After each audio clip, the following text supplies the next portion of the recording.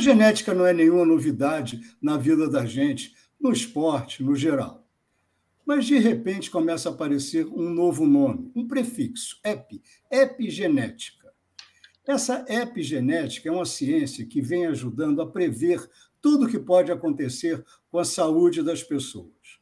Mais do que isso, ela está permitindo não só o aprimoramento dos atletas, ela está permitindo, principalmente, que tendências sejam descobertas, que esportes sejam definidos. Quem está aqui para falar com a gente sobre isso é o Gilberto Pires e o Eduardo Copelli. Eles são da Epigenética, uma empresa que vem trabalhando há bastante tempo nesse assunto, com ótimos resultados. Bem-vindo, Giba. Bem-vindo, Eduardo. Giba, Obrigado. explica para a gente o que, que é a epigenética. Primeiro, obrigado, Lito. Obrigado, Cássio, por receber a gente aqui. É muito legal participar e muito obrigado pelo convite. É, sobre epigenética, né? Epigenética é o tema em voga hoje dentro da comunidade científica. A epigene, ela é, é pioneira nesse, nesse ramo, e a epigenética, de uma forma muito simplificada, ela vem do grego epi, por fora, da genética, do gene, né? São as alterações, as expressões dos nossos genes que elas são alteradas de acordo com os nossos hábitos, de acordo com fatores externos que a gente é exposto. Então, resumidamente, aquela história de que nascemos geneticamente de uma maneira e nada pode ser alterado, não é 100% verdade. Claro que o código genético ele não pode ser alterado, mas hoje os estudos, sem dúvida nenhuma, comprovam que aproximadamente 70 a 80% de como nós vivemos depende de nós, não única e exclusivamente dos nossos genes. Eduardo, é, você é, gostaria que você se apresentasse, você como médico, é, e que você pudesse falar como a epigenética vem sendo aplicada hoje, não só na vida, no esporte também. Boa tarde, primeiramente. Agradeço a oportunidade de estar ouvindo a gente, falando um pouco sobre esse tema que acredito que vai ser cada vez mais atual. Né? E a, a epigenética, na verdade, é essa característica da gente poder é, melhorar a expressão da nossa carga de DNA, né? Nós temos essa carga, como o Gilberto explicou, que é uh, imutável na nossa vida inteira e ao longo das, do, do, do, que a gente vai fazendo, de acordo com os hábitos de vida da nossa, ao longo da nossa vida, a gente vai expressando certos genes e desexpressando e desligando outros genes. Então, de acordo com o que você faz, você pode expressar melhor a sua carga genética ou pior. E isso tem aplicabilidade prática para tudo na nossa vida. Quando a gente busca prevenção, quando a gente busca medicina de precisão, uh, por que, que uma pessoa reage de uma maneira a um tipo de medicação, a um tipo de suplemento, a um tipo de dieta, a um tipo de treinamento físico, e, e a outra pessoa reage de outra forma. Isso é a epigenética. Cada um, de acordo com o, a compreensão das suas predisposições genéticas, a gente vai entender uh, o que é melhor para cada um individualmente. Né? Isso pode ser transcrito para o esporte também de acordo com a compreensão das suas predisposições genéticas, você pode ver suas características para tipo de fibra muscular, se você tem características mais de explosão muscular ou mais de endurance, se a sua capacidade aeróbica é melhor ou não, se você tem que trabalhar mais para atingir um VO2 máximo do que a pessoa ao lado, se a sua capacidade de desenvolver força muscular ou hipertrofia é maior ou menor do que a maioria das pessoas, e na prevenção também de lesões. Você pode ver sua regeneração muscular, sua tendência a lesão, lesão de ligamento cruzado anterior, de tendão, uh, e isso faz com que você mude a característica do seu treinamento, onde você vai melhorar e otimizar sua performance, e a longo prazo também você vai conseguir ter uma carreira mais longeva. Legal, Eduardo Giba, prazer em ter vocês aqui. Deixa eu entender de um jeito prático isso no esporte, tá? como é que se aplica, e não no esporte de alta performance, eu queria começar mais lá atrás, pegando molecada, né? Eu tô lembrando aqui, quando eu era garoto na escola, tinha um menino, um amigo, Vinícius, a gente chamava ele de português, não sei se ele era português mesmo, não sei que era português. Né? Era um baixinho, não fazia esporte nenhum. Pô, eu jogava hockey, o outro jogava basquete e tal. A gente era mais preparado. Quando chegava em salto de distância, ninguém ganhava do Vinícius, o português, que passava o dia vendo televisão. Naquela época não tinha videogame nem celular. Passava o dia vendo televisão. Quando chegava no, nessa, salto em distância é o que me marcou. Ninguém ganhava dele. A epigenética explica isso? Eu acho que sim, tá? É, depois a gente pode mais para a parte técnica, mas todo mundo conheceu um Vinícius quando era pequeno, né? Ou era aquele que jogava muito futebol, ou era aquele que na natação ia super bem e muitas vezes não treinava. Então isso é algo que a gente percebe muito dos nossos clientes, até nos nossos parceiros que estão nesse, que estão nesse segmento, como nos nossos clientes. Naquele esporte que você gosta mais de fazer. Existe, existe uma premissa também na humanidade né, de usar a genética só para ver doença. Se a gente conseguisse, essa é a missão da Epigene, tá? Usar a genética para ver as aptidões. Quando você faz um esporte que você gosta, você se diverte muito mais sofrendo muito menos. As variações genéticas que a gente nasce e como a gente reage ao ambiente que a gente convive e aos esportes que a gente pratica, faz com que a gente vá para um caminho A ou para um caminho B. E esse caminho A ou caminho B é o que a epigenética mostra hoje em dia, que a gente consegue escolher isso baseado na sua predisposição. Mas eu acho que o Eduardo pode contar um pouco mais dos principais requisitos que a gente vê acontecendo: explosão muscular, endurance, o próprio overtraining, regeneração muscular, que tem tanta coisa, a amplitude é tão grande. Mas o ponto principal é como é que eu faço para sofrer menos e ter mais prazer na minha vida em tudo que eu faço? É isso que é o coração da epigenética, né? No caso específico do Vinícius, ele provavelmente tinha geneticamente uma característica genética mais voltada para a explosão muscular. Tem um gene que a gente estuda que chama ACTN3, que ele vê o tipo de fibra, a sua, a sua característica, a sua predisposição para ter um tipo de fibra 2, que é o tipo de fibra rápida que a gente chama, que é aquela fibra da velocidade e da explosão muscular, que ela, ela fadiga mais rápido, mas porém ela gera um trabalho mais rápido, mais explosivo. Provavelmente ele tinha esse gene muito mais expresso do que a maioria dos amigos da classe. E provavelmente tem um outro gene voltado para a força muscular, que é o CPNF, que a gente estuda, que ele vê a quantidade de tensão que o músculo gera, uh, e a sustentação corporal, exercícios e tudo mais. Então, provavelmente também ele tinha uma capacidade de gerar força muscular com muito menos esforço e muito menos treinamento do que a maioria das pessoas. Por isso, quando ele ia lá uh, e desempenhava daquele jeito, sem precisar ficar treinando, todo mundo ficava uh, assustado, né? Isso tem a ver com a sua predisposição genética, né?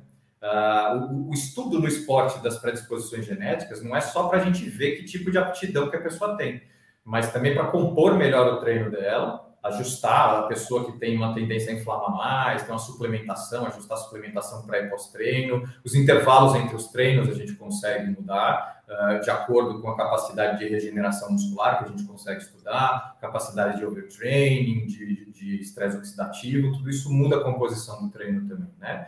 E também uh, fortalecimento de certos grupamentos musculares de acordo com a predisposição para lesão também, né? Uh, se a pessoa ela tá, tem, tem mais predisposição, se ela pode uh, desempenhar em esportes de mais alto impacto, ou se é uma pessoa que vai, tá, que vai ter que uh, gerar força em certos grupamentos musculares e articulações específicas, porque ela tem uma predisposição maior para certo tipo de lesão. Então, dá para a gente estudar tudo isso hoje em dia na, na parte de medicina esportiva, levando a epigenética em consideração. Sabe o que é legal do, do Vinícius, Cássio? Que ele, ele pode ter passado a vida inteira sem fazer isso. A, a predisposição não significa necessariamente que você vai ser um atleta olímpico, né? Significa uhum. que você tem uma chance muito maior de ter sucesso naquele esporte, ou naquela tarefa, ou naquele tipo de dieta, por exemplo. que Enfim, a, a gente hoje tem aproximadamente mais de 20 mil genes no nosso corpo, né? Então a gente consegue efetivamente entender tudo o que a gente quiser pesquisar. Então, no caso do Vinícius, nosso amigo português, por exemplo, é, se ele tivesse focado nisso, se ele tivesse trabalhado isso, ele ia metilar mais esse gene. É, esse processo de metilação ia fazer com que ele se desenvolvesse mais nesse quesito que os outros. O que é muito legal, é, Cássio, com, é, ligando de volta ali com aquele comentário no começo que 80% da nossa genética depende da gente, isso não significa que o pequeno Cássio não poderia bater ele no salto, salto, em, salto em distância, né? Poderia. Isso. Só que provavelmente, a gente não fez a sua análise, né? Mas provavelmente você precisaria se esforçar 5, 10 vezes mais que ele. Mas você uhum. pode conseguir. Desde que ele não se esforce também 5, 10 vezes mais, entendeu? No nosso caso específico aqui, que é o nosso tema, o tema do nosso público, automobilismo. É, normalmente, quando um piloto, vamos dizer, ou já, já, já adulto ou criança, está né? Tá sendo levado pelos pais. É, esse menino vai ser piloto por causa da determinação da família ou por própria determinação ele vai ser. É, como é que a epigenética é, não, não seria mais o caso de encaminhá-lo, vamos dizer, ah, não, a sua predisposição é para o atletismo, o salto com vara. Não, ele vai ser piloto. Como é que a gente poderia, como é que a epigenética poderia melhorá-lo nessa função, na pilotagem? É, de novo, né, eu vou comentar aqui um pouco da, da parte mais humana. Né? A gente gosta de afirmar para todo mundo que faz o teste ou faz um programa com a gente que não existe sentença dada a ninguém, né? tanto para o bem quanto para o mal.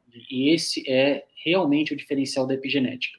Então, vou pegar o caso do, daquele garoto ou garota, né? Que o pai é apaixonado por automobilismo, tem todas as condições econômicas para entrar nesse esporte e se sobressair nesse esporte, ou seja, ele tem o prato feito. Porém, ele não tem as aptidões genéticas ou epigenéticas que o outro garoto tem. Isso significa que ele não vai conseguir? De novo, não. Isso significa que, no caso específico, faria, se faria um mapeamento onde avaliaria quais são os genes que estão ligados a fatores de sucesso, fatores críticos de sucesso no automobilismo, e mostraria: olha, você é muito bom no tempo de reação. Então, acelera ou dá, faz a freada um pouco mais perto da curva. Você é muito bom gerenciando ansiedade. Portanto, no treino você pode performar muito melhor do que numa corrida, ou vice-versa. Então, a gente vai avaliar, no caso específico que a gente está discutindo aqui, né, que é potencial para o automobilismo, quais são as características positivas que a gente precisa acelerar, sem querer fazer um trocadilho, e quais são as características que ele pode ter mais dificuldade. E até mesmo trabalhar nessas ou falar, olha, essa aqui, esse aqui não é o seu forte, né? A hipertrofia, por exemplo, não é o seu forte. Se for algo importante no automobilismo, não vamos focar na hipertrofia. Mas a regeneração muscular é muito boa. Se a sua regeneração muscular é muito boa, o seu treino pode ser mais longo do que os outros. Então você vai ter mais chance de performar melhor. E como é que poderia se trabalhar isso? Como é que se faz esse trabalho específico? Como é que se localiza as qualidades? Como é que se melhora a, as qualidades? Ou como é que se supre a, a, as carências? Ah, primeiramente, o, o, primeiro trabalho a ser feito é a escolha dos itens a serem estudados, né? Dependendo do que você está querendo, tipo na área do esporte, na área de nutrição, ou na área de bem-estar, de qualidade de vida, uh, quais são os itens que são interessantes no caso. No caso do automobilismo, por exemplo, o que seria interessante a gente saber para um, um, um piloto, para ele poder performar, entendeu? Então, o primeiro trabalho que acontece é essa, uh, essa pesquisa dos itens que seriam interessantes a gente, a gente saber. Depois, o segundo trabalho é a pesquisa científica dentro desses itens, aonde estão as correlações científicas e os trabalhos mostrando a correlação de certos genes com esses itens. Depois feito isso, aí você consegue montar um tipo de exame que te traria dados suficientes e, e importantes para certo tipo de segmento. Uh, na empresa, a gente sempre fala que uh, é muito importante para a gente, quando você vai fazer um tipo de pesquisa, montar um tipo de kit específico para alguma área, alguma coisa assim, que você gere itens que têm aplicabilidade prática, entendeu? Então, que você vai, você vai gerar dados e, e informações de certas predisposições que são importantes para aquele tipo de segmento e que você efetivamente vai ter com que trabalhar depois para mudar de acordo com essas informações, entendeu? Então, fazer uma suplementação pré e pós-treino mais voltado para antioxidação ou para anti-inflamação, dependendo das características, que nem o Gilberto falou, espaçar mais os treinos de acordo com a regeneração muscular ou overtraining desse, desse cliente, desse paciente, uh, tipo de dieta, o sono, se você vai precisar ter um sono mais regular, uma hidratação maior, para compor um treino mais específico para que ele possa performar melhor. Há detalhes que são características inerentes e necessárias a um bom piloto. É, tomada de decisões, acuidade visual, é, a, a, até a capacidade de, de dominar os impulsos para forçar um piloto que vai à sua frente a cometer um erro. Isso pode ser também trabalhado na epigenética? Sim.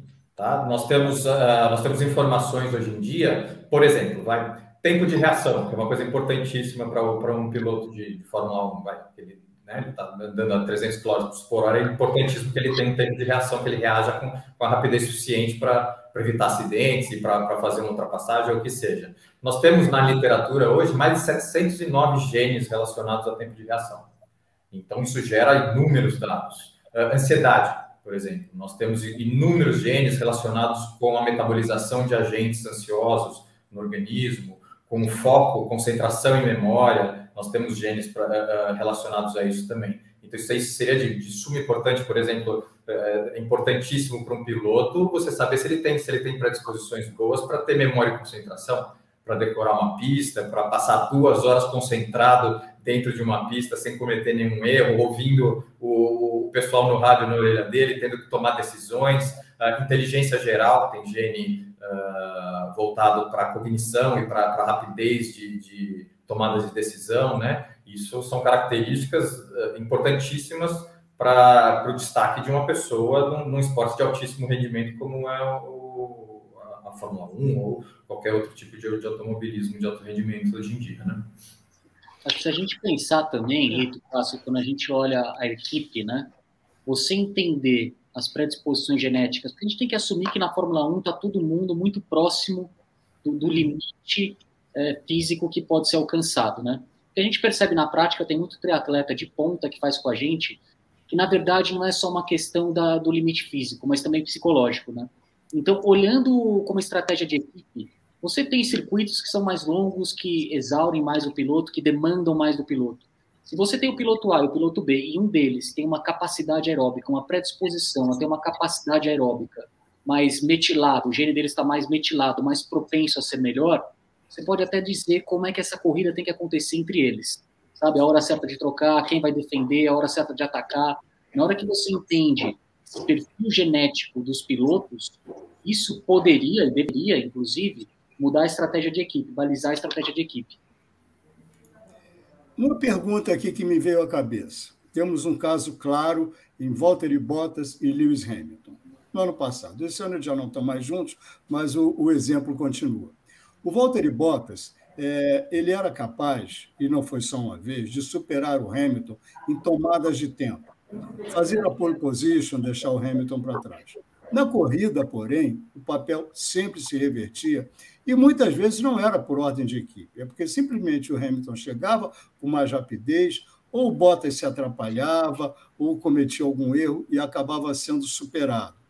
Aí ficam na minha cabeça duas perguntas. Seria por ansiedade do Bottas, incapacidade de conviver com a pressão de estar andando na frente de um heptacampeão com o mesmo equipamento? Quer dizer, ele está chegando, ele vai me passar, ou o que vai acontecer, e com isso perdendo o foco. Ou seria algo tipo o atletismo. No, no sprint de um qualify, que ele precisa fazer uma volta só rápida, ele não precisa fazer um, uma sequência de voltas, ele pode ser tão bom, tão rápido, tão competente quanto o Hamilton. Mas na sequência de voltas, na capacidade de concentração, ou na previsão, ou na análise, é, ele não se equipara ao Hamilton. Isso pode estar explicado pela, pela epigênese?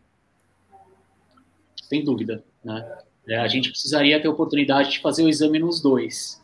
Mas o que, o que a gente vê né, nos exames que a gente já fez com atletas de elite, atletas de ponto, de ponta, é que na prática eles têm um equilíbrio é, dos genes muito bom eles tendem a performar muito bem em muitos genes.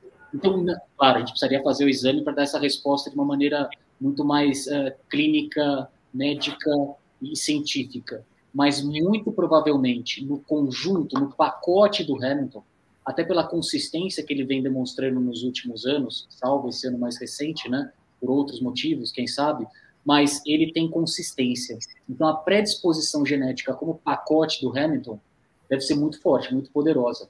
O que ajudaria muito seria o Bottas ter esse teste na mão para ele descobrir aonde ele poderia focar e performar melhor do que o Hamilton eventualmente. Trabalhar nas debilidades do Hamilton em vez da, da, das únicas cruzamentos e fortalezas dele.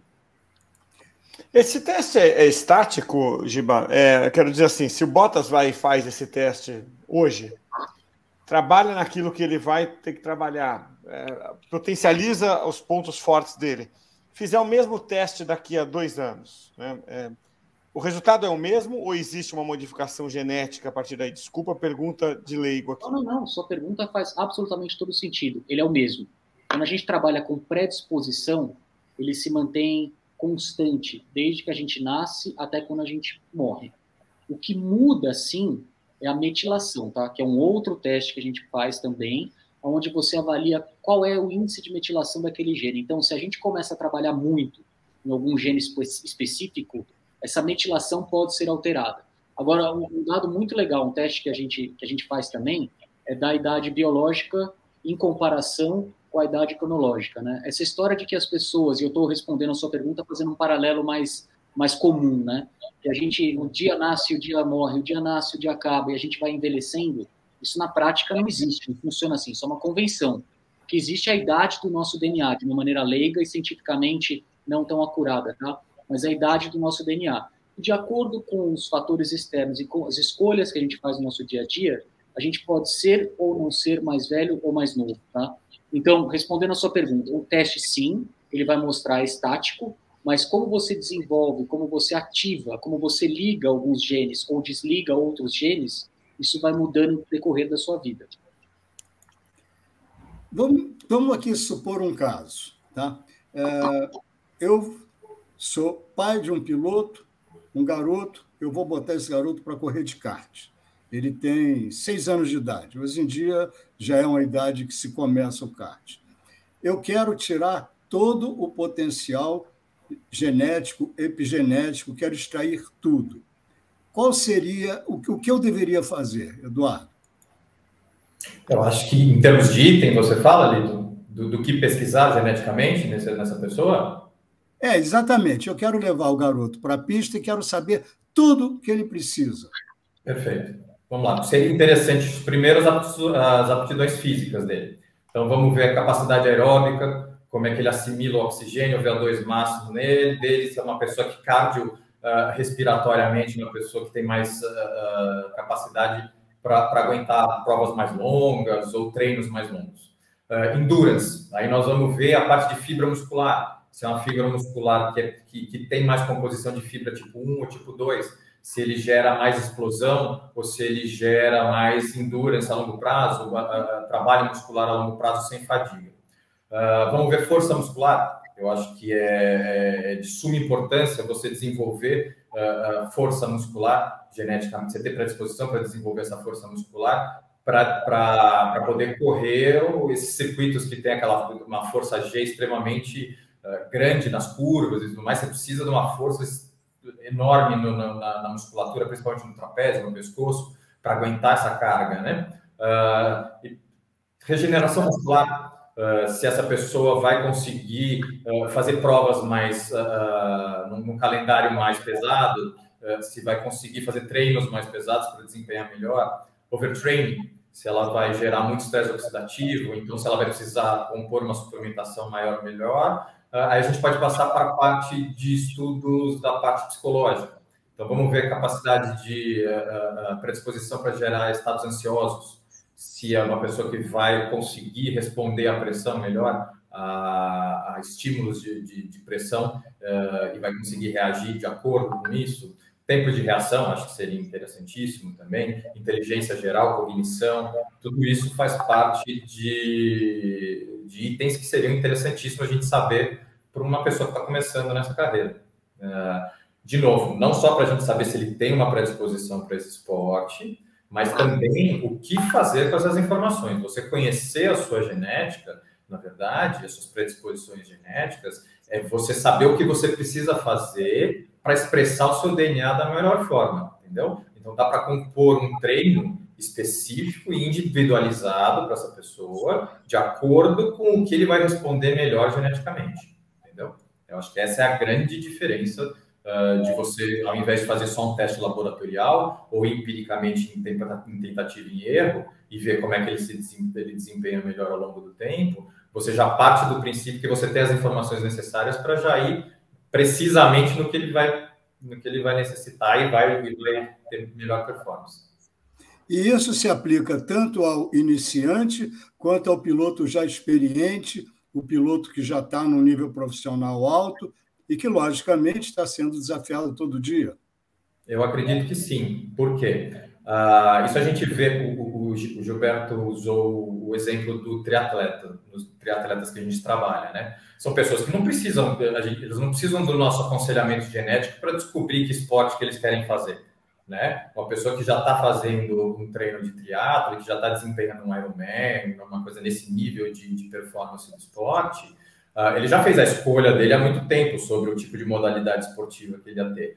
Porém, uh, gera informações importantíssimas para ele melhorar a performance e para ele mudar certas coisas uh, no, no tipo de treino dele, no tipo de suplementação, que vão às vezes dar aquele a mais que ele precisa para se sobressair em relação aos outros, porque o esporte de alto nível, você parte do princípio que já teve um afunilamento em termos de performance ali, quem está ali em cima já, já sabe que, que tem uma predisposição para esse tipo de esporte. Agora, o que diferencia quem chega sempre entre os 10 primeiros e quem fica na, na parte de trás do pelotão, entendeu? É quem já entendeu o que precisa fazer para se preparar melhor. E a genética vem como uma arma super importante nessa, nessa hora, né?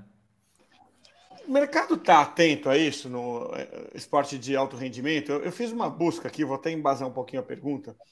Fiz uma busca pelo termo em inglês, né? Epigenetics, né? É, e, e, tem uma ferramenta do Google que te permite ver o volume de buscas por aquela palavra ao longo do tempo, desde 2004, por exemplo. Então você vê que esse termo foi sendo é, buscado mais no Google ali por 2012, 2013 e se, se estabilizou. Né? Então, o que dá a impressão de ser algo ainda inexplorado, novo, né? É, porque as pessoas não estão buscando com a, com a, frequência que a gente espera. E é, dessa volta para fazer a seguinte pergunta.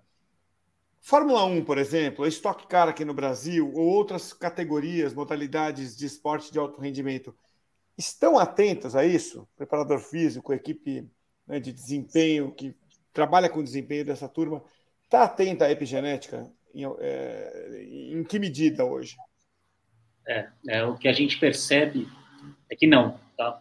A, a humanidade como um todo, ela ainda está muito focada na genética, tem uma discussão muito grande sobre o uso dessas tecnologias nos últimos anos e teve esse boom mesmo da epigenética, teve uma descoberta, ganhou o Nobel, é, o Yamanaka, das células pluripotentes, mas isso é uma outra discussão, teve um boom muito grande relacionado com epigenética. E recentemente a Jennifer Doudna, americana, ela ganhou o Nobel de Química também durante a pandemia por descobrir uma maneira de editar os genes, tá? Mas isso é uma discussão muito mais complexa que não tem necessariamente a ver com epigenética. A epigenética é bonita, assim, porque não depende, não é como você está, que é um exame de sangue, tá? Uma coleta laboratorial é um exame de sangue que mostra como você está. Não é um exame genético simplesmente que mostra é, o seu futuro, o que pode acontecer, mas é, é um exame que você tem algo que você pode fazer a respeito. Então, o que a gente olha é que tem os extremos acontecendo, às vezes, tá? Você pega clubes de ponta, principalmente futebol, eles estão olhando a genética, eles estão olhando as predisposições para algum tipo de lesão, tal, para mais para se prevenir, para ver como é que vai usar esse atleta, tal, ou até mesmo cortar atleta. Do outro lado, a gente vê exames de sangue acontecendo, como sempre, né? Consistentemente, constantemente, para medir o desempenho do atleta. Agora, esse meio termo, que é a junção desses dois fatores, que é como que você usa a genética para melhorar o dia a dia do atleta, a resposta é não. Eu acho que esse é um mercado que está pronto para ser utilizado pelo esporte, que não está acontecendo ainda. Vocês trabalham na Epigene, que é a empresa que faz esse tipo de trabalho, de serviço, que dá esse diagnóstico para as pessoas. Né? A gente até pode deixar aqui a, a, o link para o site de vocês, para o pessoal que tiver essa curiosidade de entender. É, como é que se faz isso? Né? Eu queria ter uma ideia de um atleta amador ou profissional que esteja acompanhando a gente, que queira ter um, uma fotografia do, é, do, dos genes dele, né? É, como que faz isso? É, é uma coleta de sangue, é uma coleta de saliva e e, e com vocês faz especificamente de que forma? Tá. É, é, muito simples, tá? Então, a pessoa liga para a gente, ou manda o WhatsApp, pede um kit, a gente manda o kit para casa da pessoa. Como é que é a coleta? É a mais simples possível. 30 minutinhos, sem comer, sem beber nada, água pode. Recebe um suavezinho, que é um cotonete, vamos dizer assim, tá? Passa 10 vezes do lado na bochecha, na mucosa, do lado de dentro, de um lado, 10 vezes do outro. Coloca dentro do saquinho estéreo, fecha, nosso portador recolhe, vai para o nosso laboratório, a gente faz toda a genotipagem, extração do DNA, a genotipagem, e depois a gente liga e faz uma vídeo onde a gente, gene por gene, qual é a predisposição daquele indivíduo e o que ele tem que fazer a respeito para melhorar naquele item. Seja esporte, seja nutrição, seja emagrecimento, seja envelhecimento, fertilidade. Então, tem, tem mais de 10 kits que a gente chama e que a nossa maior preocupação é efetivamente que as pessoas mudem o estilo de vida delas para usufruir mais do que a genética delas oferece para elas.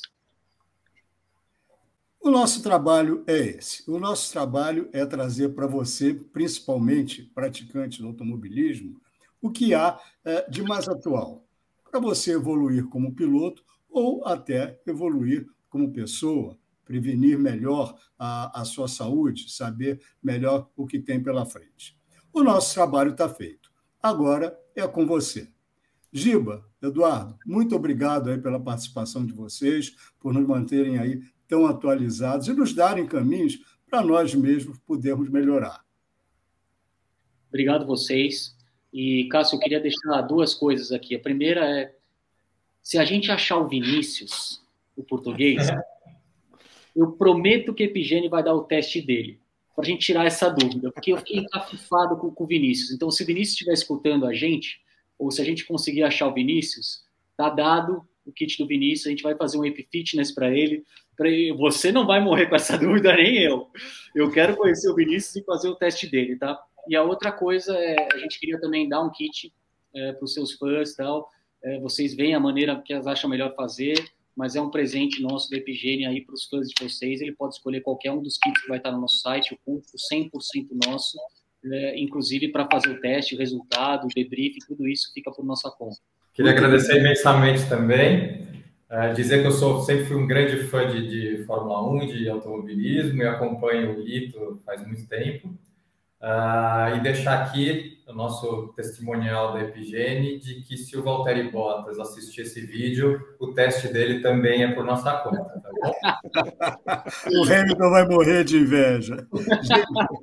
muito obrigado, foi ótimo, acho que foi profundamente esclarecedor. E tá aí, olha, você, piloto, quer melhorar? Esse é um dos caminhos. Até a próxima. Obrigado, tchau.